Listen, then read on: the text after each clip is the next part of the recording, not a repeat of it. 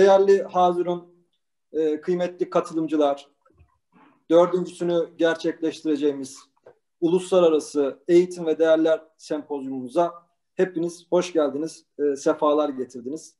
E, sözlerime başlamadan evvel bu etkinliğe öncelikle ev sahibi konumunda olan e, tarafımın da gene bünyesinde çalıştığı Karabük Üniversitemizin değerli rektörü Sayın Profesör Doktor Refik Polat'a, rektör yardımcımız Profesör Doktor Mücahit Coşkun'a, Edebiyat Fakültesi dekanımız Profesör Doktor Murat Ağrı'ya ve sempozyumumuza uluslararası katılımcıların özellikle iştirakları noktasında desteklerini gördüğümüz Uluslararası İlişkiler Ofisi Koordinatörü, öğretim görevlisi Oya Önalar'a teşekkürü bir boş bilirim.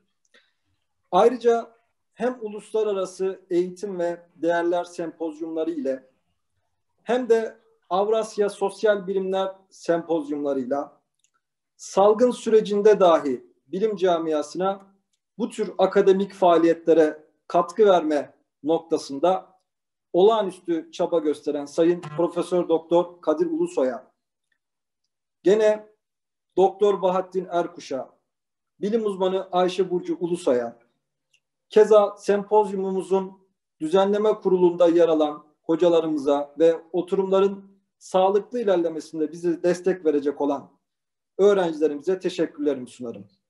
Şu ana dek birinci, ikinci ve üçüncüsü düzenlenen e, eğitim ve değerler sempozyumlarının genelde ülkemizdeki eğitim ve öğretim faaliyetlerinin niteliklerinin iyileştirilmesi, özelde ise değerler eğitimi üzerine yapılan çalışmalara büyük katkısı olduğu aşikar. Öte yandan adı geçen bu sempozyumları diğer sempozyumlardan ayıran bir başka özellik ise özellikle eğitim öğretim faaliyetlerinin en önemli parçası durumunda yer alan öğretmenlerimizin bu sempozyumlara gösterdiği ilgidir. Böylece katılım gösteren öğretmenlerimiz, okul idarecilerimiz keza mesleki gelişimleri adına bu sempozyumlarda önemli kazanımlar elde etmektedirler. Mevcut bilgilerini güncelleme, gene, gene e, güncelleme fırsatlarıyla beraber bunun yanı sıra okullarına, sınıflarına yani aslında öğrencilerine yeni bilgi ve beceriler edinerek dönmüşlerdir. Keza adı geçen bu sempozyumlar bu bakımdan alanın baktığımızda ülkenin köklü etkinliklerinden biri olmaya adardır. Hatta şunu söylemem lazım ki e, özellikle dördüncüsünü düzenlediğimiz bu sempozyumun ününün ve etki alanının sınırlarımızı da gitgide aştığını görmekteyiz. Bize düşen ise onu daha ileri noktalara taşımak, küresel çapta adından söz ettiren bir sempozyum haline getirmektir. Bu hedefler doğrultusunda çok kısa bir zaman zarfı içerisinde duyurusunu yapmış olmamıza rağmen düzenlediğimiz bu sempozyumda 177'si yurt dışından, 200'ü yurt içinden toplamda 377 katılımcının 212 e, bildiri gönderdiğini ve nasıl onları millet ödevi olduğu e, hususu Sayın Bakan'ın sürekli ifade ettiği bir husus. Evet, e, baktığımızda bizim için de eğitim bir millet ödevi. Eğitim baktığımızda bir ekosistem işi. Hep söylüyoruz. Mütabakat, işbirliği, güç birliği, ayrı gayrı olmadan, siz biz olmadan birlik beraberlik isteyen bir iş. Yaşayan hayata dair canlı, diri bir süreç olarak ifade ediyoruz.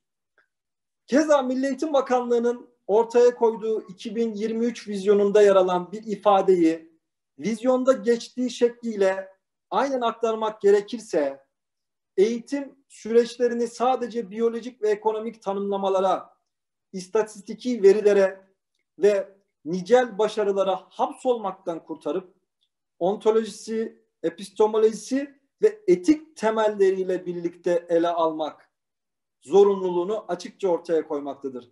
2023 eğitim vizyonunun ifadesiyle insan odaklı eğitim anlayışının ve felsefesinin zirve yaptığı işte nokta ontoloji ile epistemoloji birlikteliğini bir ahlak telakkisiyle taşlandırmasıdır. Ahlak tabi varoluşsal bir konu ve bilgisel altyapımızdan üstündür. Hep diyoruz edep amelden üstündür. Eskilerin bir tabiri vardır. Eskilerin tabiriyle edep olmazsa ilim ve eğitim olmaz. Diğer bir ifadeyle 2023 eğitim vizyonu insan odaklı sadece endüstriye istihdam üreten bir mekanizma olmaktan çıkarması beklenen yeni bir etik kod teklif etmektedir artık. İşte tam da bu çerçevede bu sempozyum, kongre ve çalıştaylar bu değerlerin tartışması açısından son derece önemli görülmekte. Son cümlelerimi söyleyeceğim. Daha fazla uzatma niyetinde değilim. Şunu da söylemem lazım ki değerler insanların dünyaya bakış açılarını etkilemede, insani algıları geliştirme ve değiştirmede oldukça etkilidir. Bu bilinçle son yıllarda ülkemizde değerler eğitimiyle ilgili çalışmalar hız kazanmış olup bu alanda özellikle Milli Eğitim Bakanlığı'nın ders programları ile ilgili yapmış olduğu kapsamlı çalışmalarda birçok ders içeriğinde değer eğitimine doğrudan yer verilmekte. Milli eğitim şuralarında bu arada sesim ulaşıyor mu sizlere? Bahattin Hocam. Hocam şu an duyabiliyorum. Şu an sesiniz geliyor. Tamamdır. Ee, bir yerden ses gelmiyor gibi bir dönüt almıştım. Ee, Milli Eğitim Bakanlığı'nın ders programlarıyla ilgili yapmış olduğu e, kapsamlı çalışmalarda birçok ders içeriğinde değer eğitimine doğrudan yer verilmiş. Baktığımızda Milli Eğitim Şuralarında Eğitim 2023 vizyonu kapsamında keza değerler eğitimi ele alınmış. Bu bağlamda düzenlemiş olduğumuz bu sempozyum değerler eğitim alanında yapılacak faaliyetlere farkındalık oluşturması bakımından da aslında önemli. Cümlelerimi sonlandırırken biz eğitimcilerin özellikle evrensel etik ve değer sorumluluklarımızın ışığında milletimizin boyasıyla boyanmış ahlaklı bireyler yetiştirmek, etik ve değer telakkisini eğitimde en üst noktaya taşımak, ahlak ve milli tüm değerleri kuşatan bir olgunlaşma için mücadele etme gibi bir görevi bulunmakta. Mutlu, mesleğine tutkulu, iyi vatandaşlar yetiştirmeliyiz. Eğitimin her alanında ve kademesinde bu bilinci eğitimin adı geçen tüm paydaşlarına anlatmalıyız. Bu duygu ve düşüncelerle düzenlemiş olduğumuz Uluslararası Eğitim ve Değerler Sempozyumu'nun bilim camiasına, akademik camiaya hayırlı olmasını temenni ediyor. E, saygılar sunuyorum. Keza e, dinlediğiniz için de teşekkür ediyorum. Son olarak da tekrardan bu e, sempozyuma emeği geçen başta Karabük Üniversitesi Rektörü Refik Polat hocamız, Mücahit Coşkun hocalarımız, rektör yardımcımız ve diğer tüm hocalarımıza, sempozyumdaki düzenleme kurulu hocalarımıza e, teşekkür ediyorum. Saygılar sunuyorum Bahattin Hocam. Teşekkür Konuşmasını yapmak üzere Mersin Üniversitesi öğretim üyesi Profesör Doktor Sayın Kadir Ulusoy'a sözü bırakıyorum. Ee, buyurun hocam. Teşekkür ederim. Hocam mikrofonunuz şu an e, kapalı galiba. Evet. Çok teşekkür ederim. Ee, Osman Hocam ağzınıza sağlık. Teşekkür ederim. Çok güzel özetlediniz. Elinize, emeğinize sağlık. Ee, ben de başta e, Karabük Üniversitesi Rektörümüz Sayın e, Refik Polat e, hocamıza, yine Karabük Üniversitesi Rektör Yardımcımız e, Profesör Doktor Mücahit Coşkun hocamıza, yine e, üniversitemizin e, uluslararası ofis e, koordinatörü, çok kıymetli ablamız Oya Önalan e, hanımefendiye çok teşekkür ediyorum. E, bu kısa süre içerisinde gerçekten çok güzel bir e, performansla, güzel bir e, hareket ve heyecan oldu. E, özellikle ciddi anlamda son yıllarda bu uluslararası kongre dendiği zaman e, katılım noktasında hep sıkıntılarla karşılaşılıyor biliyorsunuz. E, çok ciddi anlamda bir uluslararası katılımın olduğunu görmek de e, gerçekten bizi çok mutlu etti. Yani bunun için ayrıca e, Karabük Üniversitesi'nin tüm e, kıymetli hocalarıma e, teşekkür etmeyi de borç biliyorum. Biz bu yıl tabii dördüncüsünü e, düzenliyoruz. İlk başladığımızda bir heyecan vardı içimizde. İlkler e, hem güzel oluyor hem kaygılı korkulu oluyor ama çok şükür e, güzel bir iğme yakaladık. E, bu yılda biliyorsunuz bu Covid sürecinden kaynaklı acaba yapılır mı, yapılmaz mı gibi bir kaygıyı taşımıştık işin gerçeği. Ama ilk başta e, sevgili e, hocamız, e, kardeşimiz Osman Çepni Bey ile görüştüğümüzde biz bu işi yaparız deyip yola çıktık. Arkasından da e, Sayın Rektör Yardımcımız Mücahit Coşkun hocamız, hocam ne gerekiyorsa yapılır sözünden sonra bize bir moral motivasyon geldi. Ve Oya ablamızı da mutlaka ve mutlaka tekrar tekrar e, hatırlatmak istiyoruz. Yurt dışı katılım noktasında çok büyük emek ve çaba sarf etti. Gerçekten şükranlarımı sunuyorum kendilerine. Şimdi bildiğiniz üzere e, Osman Hocam'ın e, çok güzel özetledi. Yani değerler eğitimi Türkiye'de şu anda tüm vizyon programları, e, vizyon çalışmaları sadece eğitim anlamında değil, artık Kültür Bakanlığı olsun, Sağlık Bakanlığı olsun, Aile ve Sosyal Politikalar yani birçok noktada üzerinde durmamız gereken bir kavram haline geldi.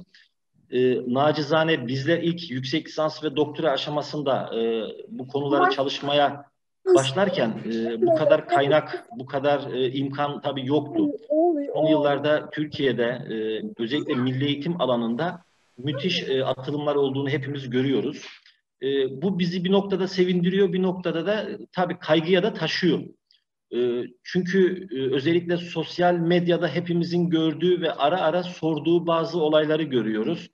İşte denize düşen bir e, köpek veya kediyi kurtaran kişiyi biz kahraman haline getiriyoruz. Güzel bir şey, kesinlikle paylaşılması gereken bir şey. Ama diğer taraftan düşündüğümüz zaman zaten bizim kültürümüzde, inancımızda e, bunu yapmamız normal olması gerekiyor. Yani bizim bu norm, yani normalde yapılması gereken davranışların bugün maalesef e, üzülerek söylüyorum e, alkışlanır hale gelmesinin arkasında şu yatıyor. Kaybolan bazı değerler var. Bunları bize hatırlattığı için teşekkür ediyoruz. Yani burada da ince bir e, çizgi var. E, tabii ki değerler eğitimi noktasında e, hep şunu söylüyoruz. Biz kendi özümüzü, kendi kültürümüzü bilerek ulusal ve evrensel değeri e, bir nevi ortak noktada buluşturabilmemiz gerekiyor. Ben özellikle bugün e, birkaç tane e, konuya değinmek istiyorum e, müsaade ederseniz. Mesela Covid süreci içerisindeyiz. Televizyonlarda, sosyal medyada o kadar fazla haberle karşılaştık ki bu davranışların bir kısmında hep değerleri görüyoruz. İşte insanların birbirine karşı tutum ve davranışlarını hepiniz şahit oldunuz. Covid hastası olduğu belli olan bir kişi başkalarına da geçsin diyerek onların yüzüne tükürebiliyor veya e, eliyle e, otobüslere falan filan yani böyle hiç insanlığa sığmayacak, bizim kültürümüze, inancımıza sığmayacak davranışların yapıldığını görebiliyoruz. E, birbirimize karşı e, tutum ve davranışlarda şunu gördük. Ciddi anlamda artık kendi kültüründen uzaklaşmaya başlamış ve e, yani milenyum çağındaki bu maddi dediğimiz maddileşme, maddiyatlaşma noktasına doğru bir gitme var. Bencilliğin başladığını görmeye başladık. Bunlar bizi üzüyor, kaygılandırıyor. İşte değerler eğitiminin tekrar tekrar gündeme gelmesi bu noktada da oldukça önemli. Ben e, programa baktım, çalışmalara baktım. E, her alandan e, bildiriler gelmiş. E, hepsi çok değerli. E, inceleme fırsatım da oldu. E, özellikle tırnak içinde okul öncesiyle ilgili gelen e, bildiri sayısındaki fazlalığı görünce ayrıca mutlu oldum. Çünkü eğitimin e, ilk kademesi okul öncesidir ve bu noktadaki gerek akademisyenlerimizin gerek öğretmenlerimizin e, ortaya koyduğu ürünler ciddi anlamda gelecek adına e, ümit vaat ediyor. Her alandaki e, bildirilerimiz çok değerli, çok kıymetli. Hepinize ayrı ayrı teşekkür ediyorum. Bir noktada da şunu unutmamamız gerekiyor. Ee, belki bu korona süreci, Covid sürecinin biz genelde sağlık ve ekonomik boyutunu tartıştık. Bunlar önemli mi? Tabii ki önemli. Ekonomi ve sağlık mutlaka önemli. Ama bu süreçte yeni dünya düzeni diye bir kavram var. Bu yeni dünya düzeni kavramını da unutmamamız gerekiyor. Özellikle sosyal bilimcilerin bu konuda biraz daha fazla çaba ve emek sarf etmesi gerektiğine inanıyorum. Yeni dünya düzeni içerisinde e, bir şekillendirme yapılacaksa 21. yüzyılda karşımıza çıkacak kavramlardan birisi kimliksizlik kavramı olacak. Kimliksizlik kavramı. Şu anda bu değerler boyutundan da bakacak olursak insanları, gençleri kendi kimliklerinden, kendi kültürlerinden uzaklaştırılıp farklı farklı fenomen, işte sosyal medyalardaki bu artık ön plana çıkmış olaylar, programlar, filmler, diziler vasıtasıyla kendi kültüründen uzaklaştırılmış modern bir sömürgecilik anlayışıyla karşılaşma ihtimalimiz var. Ve bunun sonucunda kimliksiz bireyler, aidiyeti nereye olduğu belli olmayan insan tipleri yetiştirilmeye çalışılıyor. Özellikle bizim gibi e, kültürüne, değerine, örfüne, adetine e, çok e, önem veren e, toplumlarda, milletlerde bu daha da büyük yaralara yol açabilir. Çünkü teknoloji bunu artık bize dayatmaya başladı. Karşımıza fenomen olarak e, onlarca, yüzlerce insan çıkıyor. Davranışlarına baktığımız zaman kazanalım, günü kurtaralım, hayatımızı çok iyi şekilde yaşayalım. Ee, bizim aidiyetimizin bir ülkeye, bir devlete, bir millete olması çok önemli değil gibi bilinç altına oynanan bazı oyunları da görmekteyiz. Bu bizi ürkütmektedir. Bir diğeri e, bu zaman içerisinde e, modern sömürgecilik haline de gelebiliyor. Yani biliyorsunuz yıllarca işte sömürge e, imparatorlukları vardı. Ne yapıyorlar? Gidiyorlar ülkelere. Oradaki insanların yeraltı ve yerüstü kaynaklarını ellerine alıyorlar, geçiriyorlar. Tamam. Ekonomik bir sömürge var. Onun yanında o bölgelerde açtıkları okullar, çeşitli kurumlar vasıtasıyla da kendilerine uygun, kendi sistemlerini devam ettirebilecek nesiller yetiştirilmeye çalışılıyordu. Hangi kurum üzerinden gidiliyor? Eğitim kurumu üzerinden gidiliyor. İşte günümüzde de artık teknoloji, özellikle kitle iletişim araçları e, eğitimin bir parçası. Biz bunu artık bu süreçte daha net gördük. Bundan sonra toplumlar için özellikle bizim gibi e, daha kültürüne bağlı olması gereken, kültürüyle övünen, kültürüyle gurur duyan e, insanlarda ve toplumlarda saldırıyla karşılaşma ihtimali daha yüksek. Yani bizi kimliksizleştirme rolüne bürünen birilerinin olduğunu unutmayalım. Bunlar bir komple teorisi değildir. Bunlar yeni dünya düzeni içerisinde planlanan, programlanan kavramlar içerisindedir. Yani o zaman ne yapmamız lazım? İşte değerler eğitimler dört elle sarılıp önce özellikle tarihimizden de aldığımız güç ve kuvvetle tarihi hafızamızı, tarihi arka planımızı da bilerek bugünlerimize sağlam basarak yarınlarımıza, geleceğimize emin bir şekilde bakabilmemiz için değerler eğitiminin ne kadar önemli olduğunu daha iyi anlayacağız. Ee, yani söyleyecek konu çok. Biliyorsunuz değerler eğitimi bir okyanus gibidir. Ee, konuşulacak konu çok. Fazla da vaktinizi almayayım. Zaten iki gün boyunca çok güzel sunumlar olacak. Ee, birçoğunu arkadaşlarımız özellikle e, ben gördüm. Heyecanla bekleyen dışarıda insanlar var. Saatini soran insanlar var. Hepinize tekrar tekrar teşekkür ediyorum. Sağlıklı günler diliyorum. Elinize, emeğinize sağlık. Teşekkür ediyorum. Ee, ben de Osman Hocama, Kadir Hocama e, çok teşekkür ediyorum. Beni bugün davet ettiler. Şimdi müsaade ederseniz isterseniz e, yabancı konuklarımıza e, ben İngilizce hitap etmek istiyorum. Buyurun hocam. Uh, dear distinguished participants, uh, dear my friends from all over the world, I really would like to uh, convey my respects and uh, gratitude to you all because of uh, spreading uh, the announcement of this uh, conference within a nearly one month. And as far as I remember, as Mr.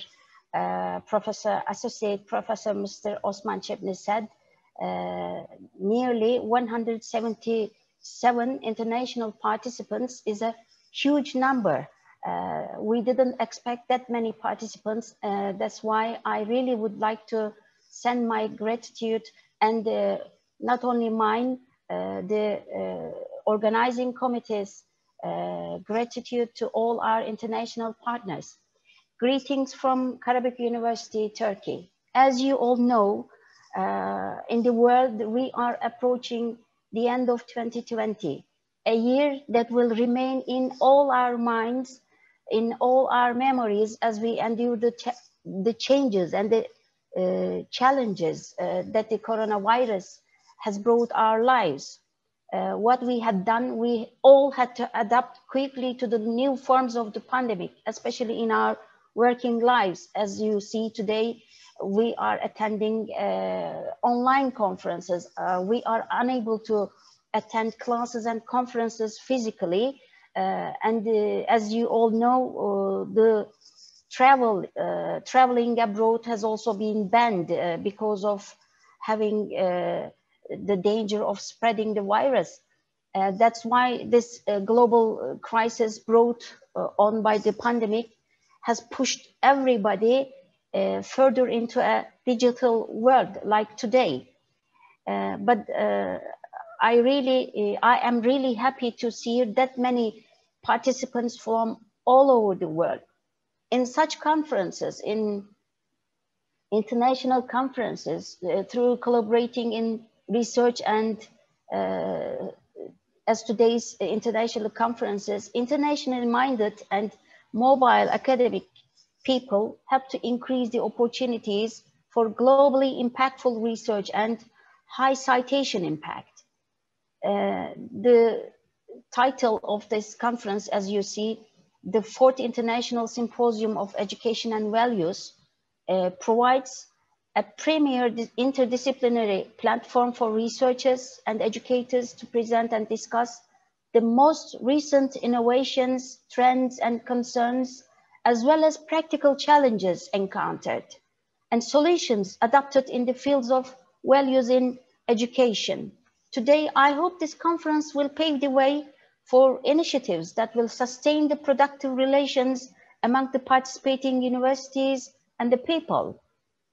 Uh, we also would like to take this opportunity to express our gratitude for the fruitful networking for this conference. The number is unbelievably huge uh, 20, uh, 200 uh, international, sorry, 200 domestic, nearly 170 international participants is a really good number during such pandemic days. we by uh, I don't want to take much time. Uh, I just wanted to express uh, our the organizing committees and Karabük University's gratitude uh, to all participating uh, universities and the people. Uh, by ending my speech now, uh, we would like to wish you a very happy uh, new year, a much better and healthier new year 2021. And inshallah, next year, we would like to welcome you, everybody, physically here to our uh, university. Uh, I, I send you my respects and I leave the microphone to our Vice Rector, Professor Mujahid Joshkun. Thank you. Thank you all for their, your contribution to this conference. Thank you, friends. Teşekkür ediyorum. Sesim geliyor sanırım. Şu an geliyor, evet hocam. Evet, e, çok kıymetli bilim insanları e, bugün başlayıp e, iki gün devam edecek olan Uluslararası Eğitim ve Değerler Sempozyumuna hoş geldiniz öncelikle.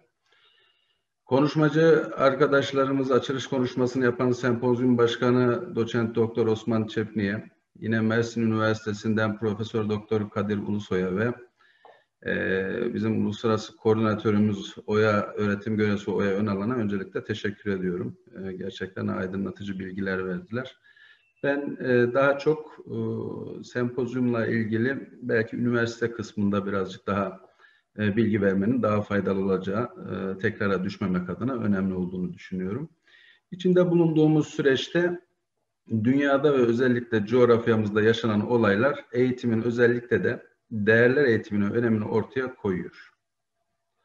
Başta Türkiye'deki bilim insanları olmak üzere medeniyet havzamızdaki ülkelerden de akademisyen ve araştırmacıların katılımı ile nitelikli çalışmaların paylaşılacağı ve e, interdisipliner aktivitelerin gerçekleşeceği bir ortamda sizlerle buluşmaktan gerçekten memnuniyet duyuyoruz. eğitimin her alanda değerli e, bilim insanları ile iki gün boyunca verimli bir e, bilim ortamında başarılı bir etkinlik diliyorum hepinize. Katılımcılara e, sözü bu anlamda uzatmadan üniversitemizle ilgili bazı bilgileri aktarmakta istiyorum. Bir sunum var, onu paylaşmak istiyorum.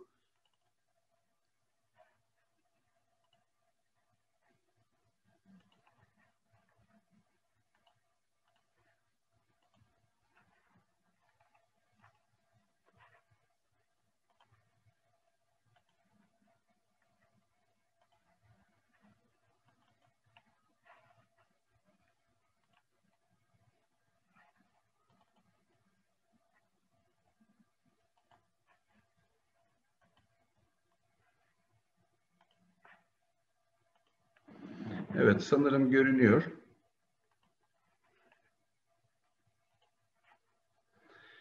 Evet, Karabük Üniversitesi, burası merkez kampüsümüz bizim.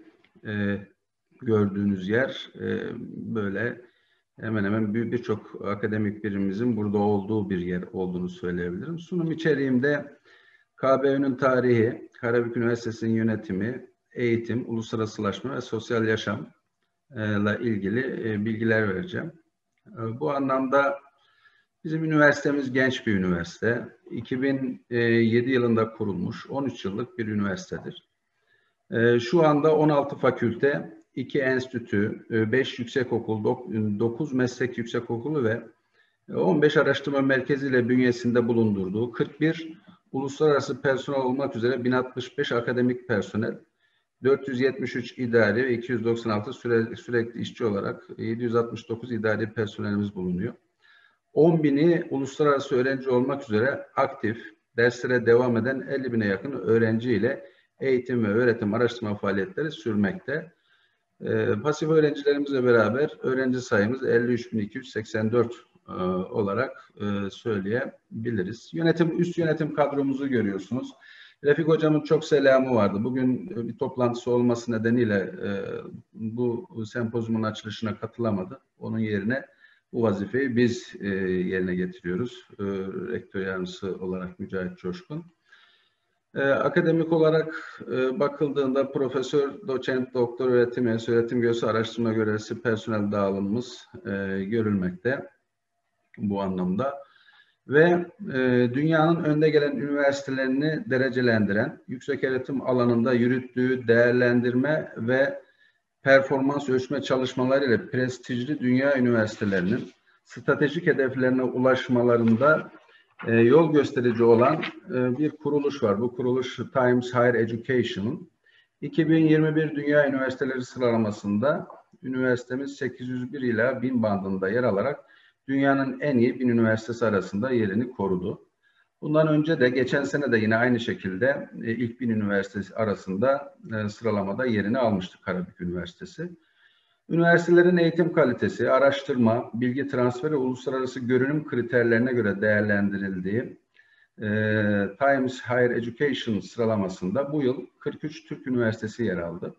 Türkiye'den ilk bine 11 üniversite girerken Karabük Üniversitesi Türkiye genel sıralamasında 10. devlet üniversiteleri arasında ise ilk 5'e girmeyi başaran bir üniversitedir. Sağladığımız başarı dünyada ilk bine girme başarısı bizden çok daha önce kurulan üniversitelerden veya iyi üniversitelerden çok daha iyi olduğumuz manasına da gelmeyebilir. Ama bu dünyada genelinde Karabük Üniversitesi'nin akredite olduğunu gösteriyor.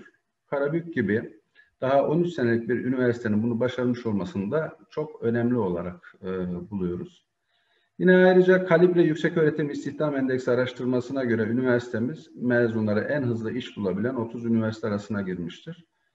Burada önemli husus öğrencilerimizin sosyal, girişimci ve kendine güvenen bireyler olarak yetişmesi. Bununla birlikte iş yaşamına kolay adapte olabilmesi diye düşünüyorum. Gençlerimiz bizleri bu anlamda gururlandırdıklarını da e, söyleyebiliriz. Yabancı dillerde yüzde yüz İngilizce programlarımız ve yüzde otuz İngilizce programlarımız var ve bu programlara hazırlık eğitimini biz veriyoruz.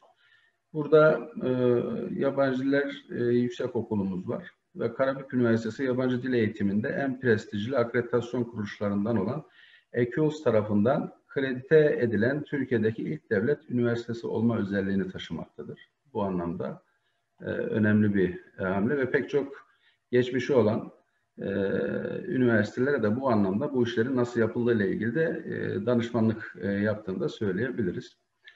Türkiye'nin ilk demir çelik enstitüsü ve tek demir çelik enstitüsü de Karabük'te Kardemir e, demir, e, demir e, sanayisinin bulunması, ilk demir çelik sanayisinin bulunmasından dolayı burada demir çelikte şehir oldukça sanayi konusunda iyi. Burada testler yurt dışında yapılıyordu.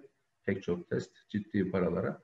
Yerlilik ve millilik anlamında önemli bir hamle yaparak Demir Çelik Enstitüsü kuruldu ve sadece Karabük Demir Çelik sanayisine değil, Türkiye'den pek çok testlerin yapıldığı bir enstitü olduğunu söyleyebiliriz. Ee, burada mühendislik fakültemiz ve teknoloji fakültemiz oldukça e, akademik kadro olarak e, büyük ve e, öğrenci sayısı fazla olan bir iki fakülte. Bu anlamda en çok mühendislik fakültemizde öğrencimiz fazla. Burada staj imkanları Kardemir'de ve ona benzer birçok burada örneklerini gördüğünüz anlaşma ve protokollerimizle öğrencilerimizi stajlara gönderebiliyoruz. Eğitimde tıp, sağlık bilimleri, teknoloji, mühendislik, e, fen edebiyat, kimya vesaire birçok alanda 142 adet laboratuvara e, sahip bir üniversite genç olmasına rağmen. Bu anlamda e, üniversitemiz uluslararasılaşmada da az önce belirttiğimiz gibi 10 bin e, öğrencimiz var e, uluslararası 90 ülkeden. Karabük Üniversitesi gelişmek ve uluslararası platformda ilerleyebilmek için bireylerle, kurumlarla, kültürlerle ve dünyadaki tüm toplumlarla uyum içerisinde olunması gerektiği gerçeğini erken fark eden bir üniversite. Bu bakımdan Karabük Üniversitesi uluslararasılaşmayı araştırmada, eğitimde ve teknolojide kolay transfer edilebilir çalışmalar için önemli bir adım olarak değerlendirmektedir. Ve üniversitemiz hem uluslararası akademik personel hem de uluslararası öğrenci anlamında e, gerçekten e, önemli bir önemli bir kapasitesi var. Ve bu anlamda 10 bin öğrenciyle Türkiye'de uluslararası öğrenciye sahip en büyük üniversite olduğunu da e, altını çizmek istiyoruz e, 90 ülkeden. Karabük Üniversitesi'nin dünyada e, 300'den fazla üniversiteyle anlaşması var, protokol var. Biz gücümüzü nereden alıyoruz? Bu kadar öğrenciyi nasıl buraya toplayabildik?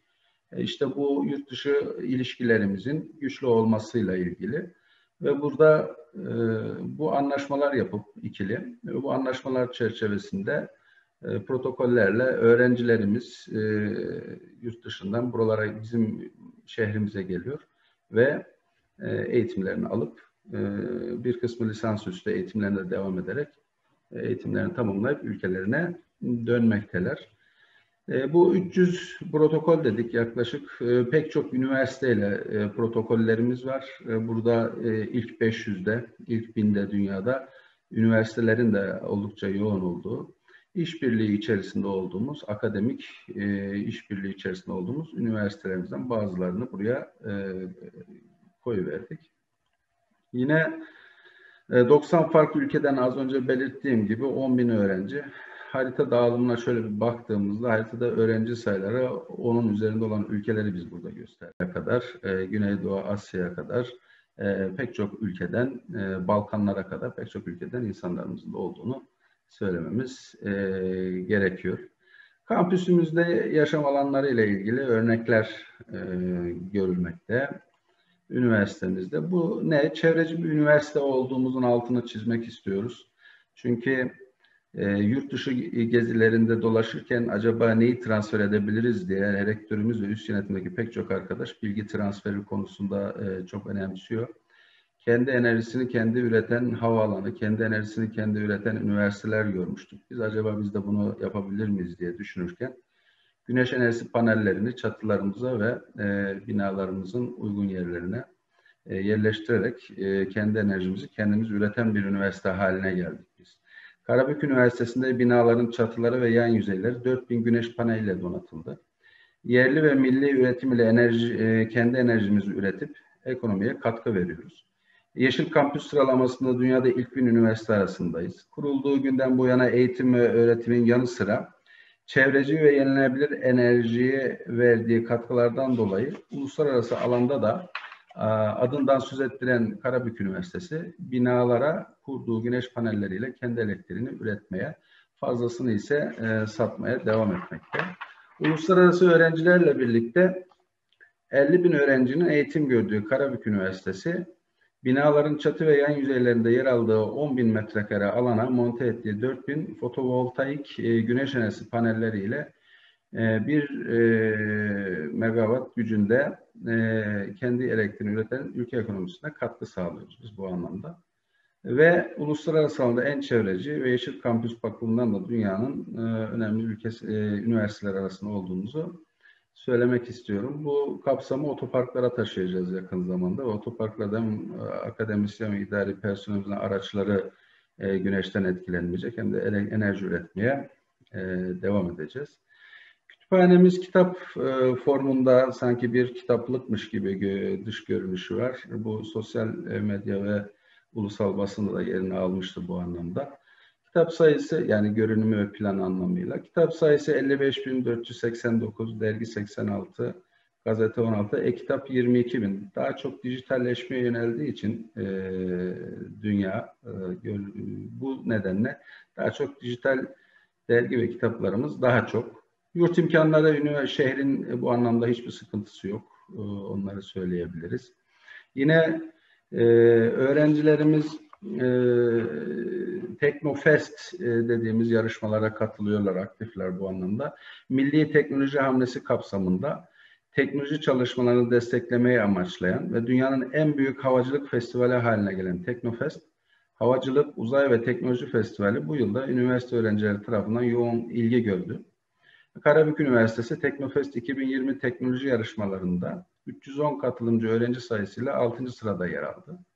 E, Türkiye'nin en büyük teknoloji buluşması Teknofest 2020 yarışmalarına 175 farklı üniversiteden 11.898 üniversite öğrencisi başvuru yaptı.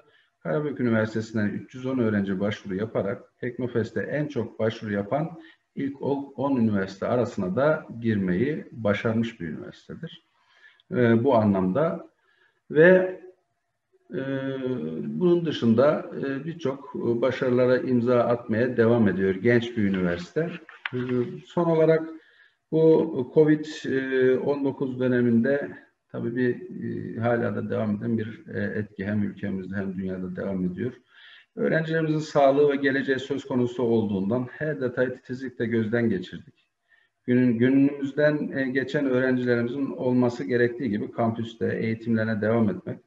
E, ama maalesef bu pandemi süreci bunu olanaksız e, kılıyor. Sağlık Bakanlığı'ndan gelen tavsiye kararıyla uzaktan eğitime yürütülmesi hususu olunca evlatlarımızın bu dönemde her şeyden önce sağlık durumlarını düşünmek zorundaydık. Ve bizim uzaktan eğitim altyapımız oldukça geçmişe dayalı olarak güçlü bir altyapımız vardı. Biz Covid-19 ile mücadele sürecinde toplam 8402 dersten 7623'ünü uzaktan eğitim yöntemiyle verilebilir. Bulunarak ders programları yeniden oluşturuldu ve YÖK tarafından verilen karardan sadece 5 gün sonra tavsiye edilen başlangıç tarihi olan 23 Mart 2020 itibariyle üniversitemiz e, bahar ve güz dönemine uzaktan öğretim yöntemiyle e, vakit kaybetmeden e, devam ettirdi. Yüksek öğretimin dijital dönüşüm hedefi doğrultusunda üniversitemiz eğitim kalitesini ve verimliliğini arttırmak amacıyla yürütmüş olduğu ARGE çalışmaları neticesinde 2019-2020 eğitim e, dönemi başında kurulan sınav merkezi UNIKA üzerinden çoktan seçmeli sınavlar yapmaya başladı. Burada bir standart getirmek için. Bologna, Bologna'nın haftalık e, programları dikkate alınarak e, Avrupa Birliği'ndeki hazırladığımız ders e, içeriklerine göre düzenlendi bunlar. Bunun dışında Kabuzen bünyesinde yürütülen çevrim içi sınavlar ise klasik sınav, karma ve sözlü sınav seçeneklerini de içerecek şekilde beş farklı yöntemlerle yürütüldü. Bu kapsamda bahar döneminde vize ve final olmak üzere toplamda 2700 sınav oturumu yapılarak ölçme ve değerlendirme işlemi gerçekleştirildi. Yine yaz okulu en erken açan üniversitelerden biriydik. Bu anlamda çok ciddi anlamda e, talep e, geldi ve yaklaşık 18 binin üzerinde öğrenciye biz bu anlamda hizmet verdik. Üniversitemiz genel anlamıyla herkes üniversitesini tabii anlata anlata bitiremez belki ama biz de öyle. Hem üniversitemizi çok seviyoruz herkes gibi. hem de daha başarılı olması için de çabalıyoruz. E, yerli ve milli kaynakları kullanarak tasarruf e, tedbirleri çerçevesinde en güzel hizmetleri öğrenci ve akademisyenlerimize, idari personelimize sunmak istiyoruz. Bu anlamda artık bir dünya üniversitesi olan Karabük Üniversitesi'nin çatısı altında sizleri dijital platformda ağırlamak bizleri memnun etmiştir. Sempozyumun düzenlenmesinde emeği geçenleri kutluyorum ve onlara çok teşekkür ediyorum. Ee, başarılı bir sempozyum temennisiyle hepinizi saygıyla selamlıyorum. Teşekkür ederim.